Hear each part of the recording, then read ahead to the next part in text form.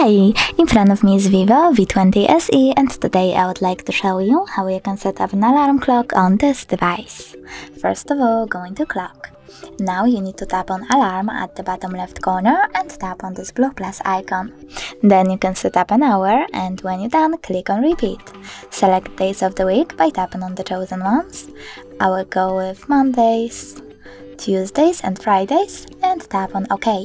Then choose alarm sound over here and pick one of those melodies as your alarm sound by tapping on the chosen one and going back.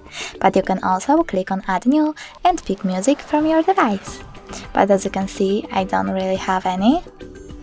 So I will just go back, pick one of those and go back again.